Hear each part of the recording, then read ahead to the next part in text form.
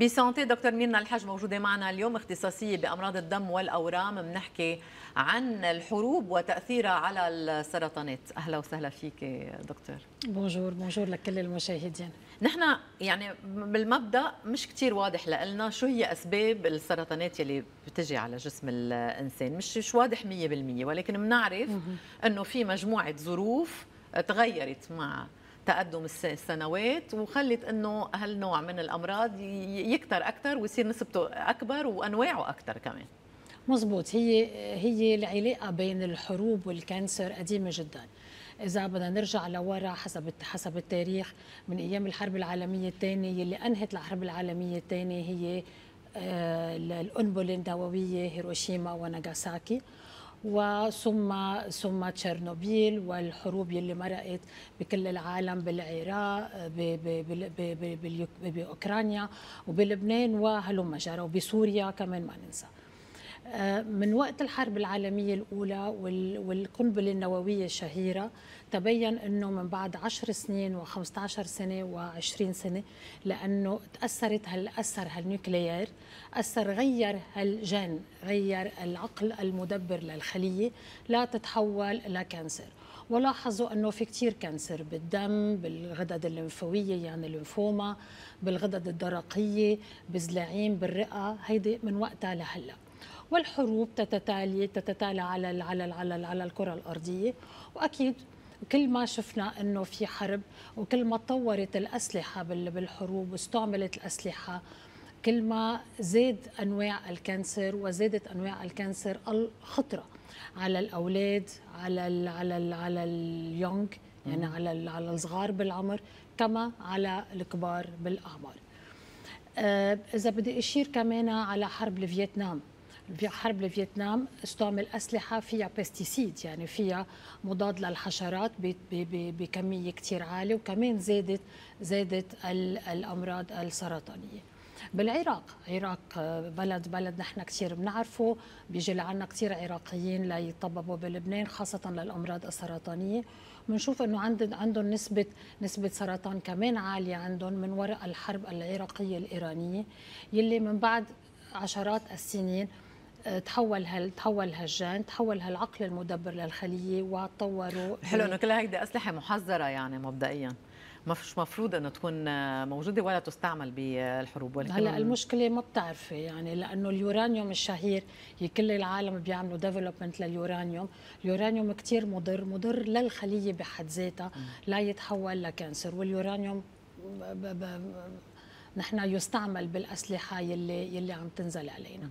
هل هالاضواء يلي بنشوفها من النيران يلي بنشوفها هلأ بلبنان بالحرب هلأ الحالية سموها الحرب الثالثة بنشوفها آه، أضواء خضراء صفراء ما بعرف هول كلهم والانبعاثات يلي كمان بكل الألوان. هول كلهم بياثروا قد إيه الخوف وال stress يلي بيأثر طبعا على الصحة وصرنا نعرف قد إيه كمان ممكن هالتأثير على الصحة من بعدها يؤدي للسرطانات كل ال كل ال كل العلوم تبينت انه بينت إنه ال stress هو بخفف المناعة المناعة الداخلية.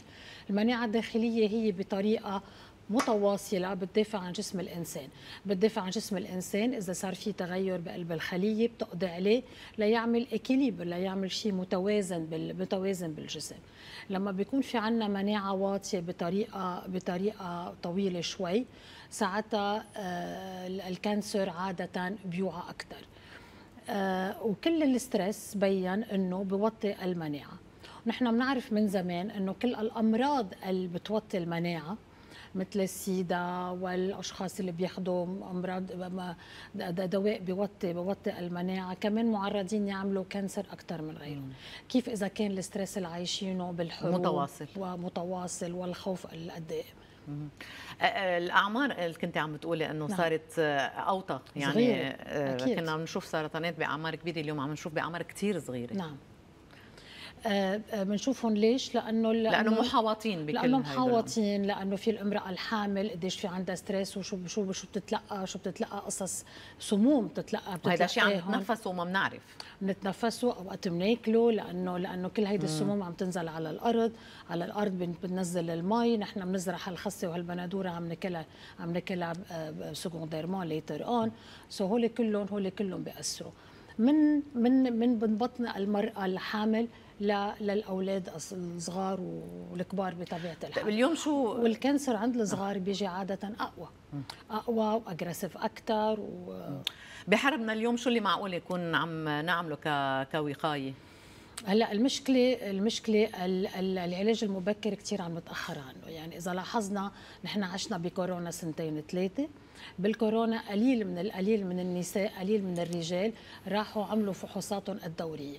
فحوصات الدورية mammography colonoscopy كل هوليك وحتى حتى المرضى المرضى ال chronic اللي بيعملوا فحوصات دورية اللي تعالجوا قبل عم يعملوا فحوصات دورية وقفوا فحوصاتهم الدورية.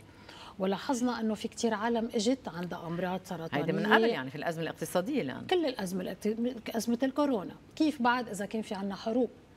عندنا حروب وعندنا تهجير كل العالم رح تأجل علاجاتها رح تأجل رح تأجل الفحوصات الدورية رح نكتشف later on رح نكتشف آه، أمراض أمراض منتشرة.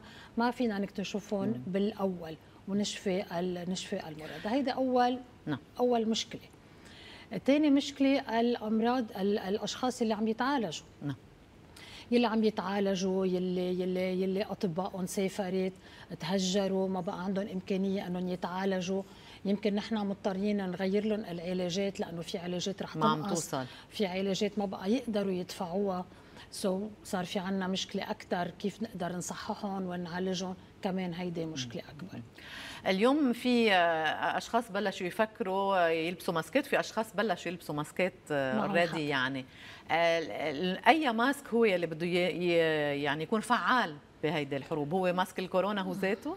هلا مبدئيا بس ما في بس ما في studies ما في studies لنعرف أي لا نحن أصلا ما بنعرف شو عم يكبوا علينا لحتى نعرف شو ال mask اللي بدنا نستعمل بعدنا عم نقول الألوان اللي عم تطلع ولكن بضل مفيد ال mask. بضل مفيد بالمناطق القريبة شوي مم. بالمناطق القريبة. وأكيد الأفضل N95 هو أفضل من ال mask العادي يلي يستعمل الأزرق بطبيعة الحال مم. لأنه بيعمل block أكثر بس بس ما في ما في ستدي يعني ما في ابدا تجارب ولا دراسات. اذا قوي وقايه هو الاكتشاف المبكر هو كانت الوقاية الوحيدة بالنسبة للسرطانات لأنه ما عندنا سيطرة على الموضوع كثير هلا الوقاية الأفضل ما يكون في حروب وما يكون في عندنا هيدا بطبيعة الحال. بس إنه أنا أنا مساجي اليوم للمرضى كلهم ولكل العالم ما يتأخروا بفحوصاتهم الدورية ما يتأخروا ولا يأجلوا علاجاتهم ولا فحوصاتهم لأنه جربناها قبل بالحروب اللي قبل جربناها قبل بالكورونا. وشفنا كثير إنه في عالم رجعت راجع المرض معهم وصار منتشر لأنه ما عملوا فحوصاتهم.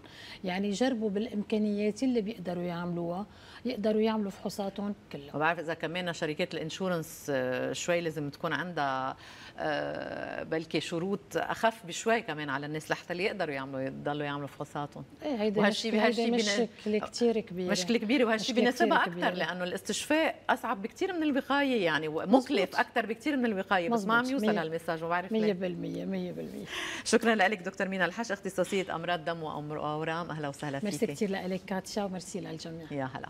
وقفي هلا ونرجع نتابع